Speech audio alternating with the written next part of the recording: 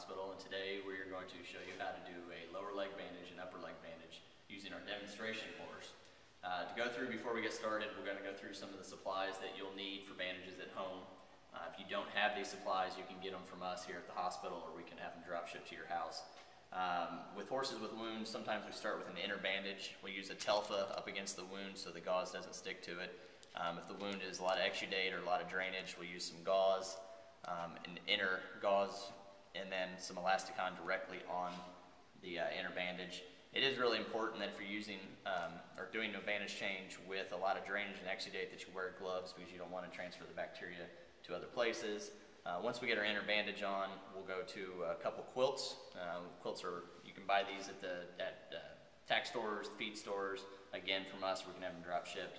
Um, and then on that, we'll have an outer wrap. All right, if you have any bandages or wounds that are very um, exudate or have a lot of drainage and you don't want to use cloth, uh, you don't want to you don't want to wash these in your own washing machine, you can use disposable bandages again from us or uh, drop ship to your house. Um, these are disposable cottons that we can sell in 10 yard rolls or actually as individual rolls. Uh, and then on top of that, in, in replace, uh, replacement of these, we use just some roll gauze and some vet wrap. And uh, for the top of the bandage and bottom of the bandage, we'll use some more elasticon. For this bandage, imagine that there's a wound mid-cannon bone.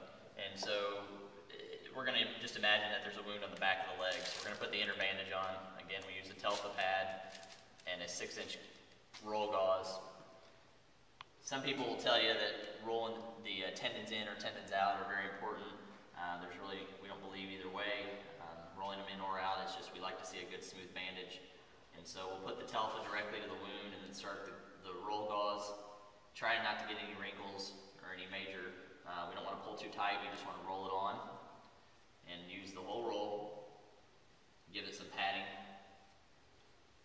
Again, we're not pulling it tight, we're just rolling it on, nice and flat.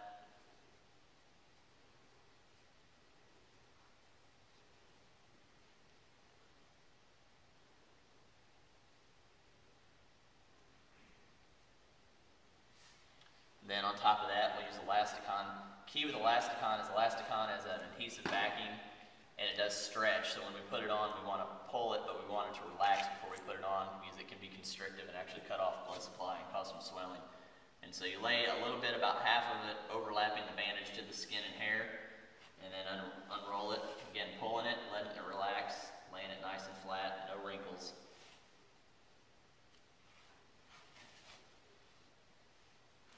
It's got a red line on the middle and it just basically overlap about half.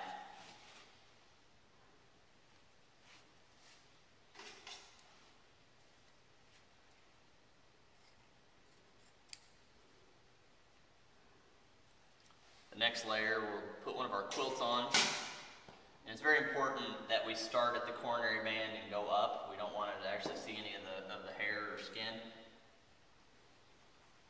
And In this case, you can see that our, our bandage extended a little bit above it. And if it does extend above, then we'll put a second layer on. So we'll show you that in a second.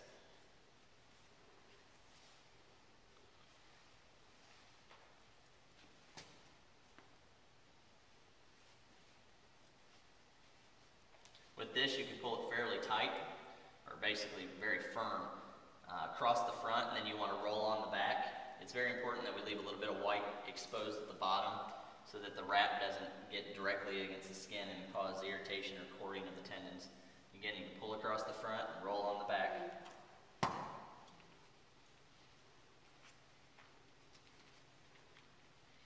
Again, we want to see white at the top and the bottom. Just finish out this roll. Important when you end your vet wrap or end your, your track bandage that you actually end it above the fetlock because the motion of the fetlock sometimes will cause it to come off. Now with this bandage, because we extended above it, we would go ahead and put another bandage on.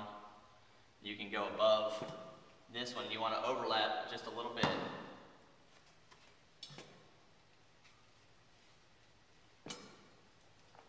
And you can continue this up the leg. If you had to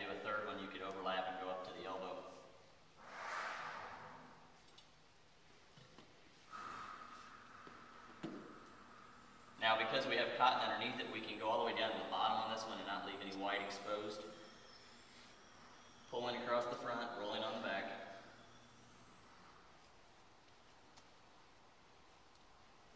Going all the way up and then we're going to leave a little bit of white at the top exposed.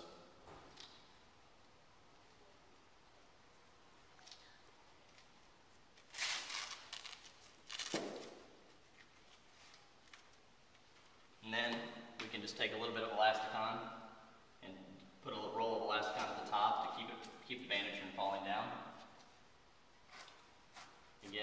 it, letting it relax, and then rolling it on.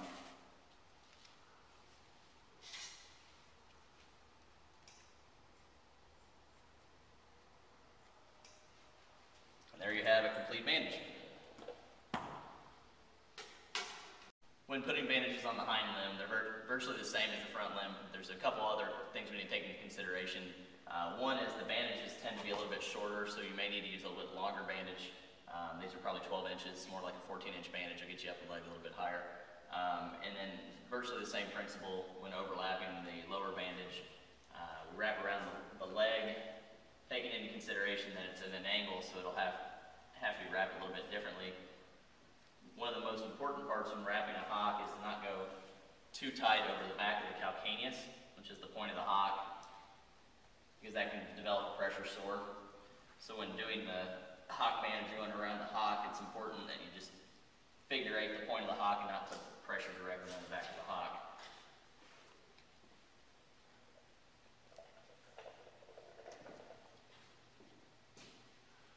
And here you have a complete full limb bandage on a hind limb. Again, you can put Elasticon at the top of the bandage, just like you did on the front of the bandage. That's it. Occasionally, when we send a horse home with a wound and a bandage, uh, the, the wound will be severe enough that it'll require a splint. Uh, typically, with splints, we're using them to reduce motion. Um, this is a distal limb splint or a lower leg splint, uh, good for wounds around the ankle, just above in the mid cannon bone area. And the key to these are that they're PVC and rigid. Uh, we've cut the points off of them. We've got them bent to the natural angle of the fetlock. Uh, you put the bandage on just like you would put a normal bandage on. Uh, the, the point of the, the, the fetlock fits right about the middle of the bend, and it goes on the back side. And key to these are that you want to make sure that you have a lot of padding on the bottom side of the splint and padding on the top side of the splint. This one's a little little higher uh, with this bandage. Uh, you can drop it down a little bit. Uh, when you put these on, it's very important that you put them on as fairly tight, fairly firm, because you want to reduce the motion. You've got a nice thick padded bandage underneath it. Pressure sores really shouldn't become a big problem. Um, with a small one like this, you just start at the top using duct tape. Uh, we use Gorilla Tape because it's a lot stronger than standard duct tape. Uh, but just go around the splint. Sometimes it's important to do a, a, ring at the top and then a ring at the bottom, and then you can go from the top to the bottom. Uh, but he's not moving around, so I'm just going to start pulling it. And then you can pull across the front, pull across the back. You want this to go on fairly tight.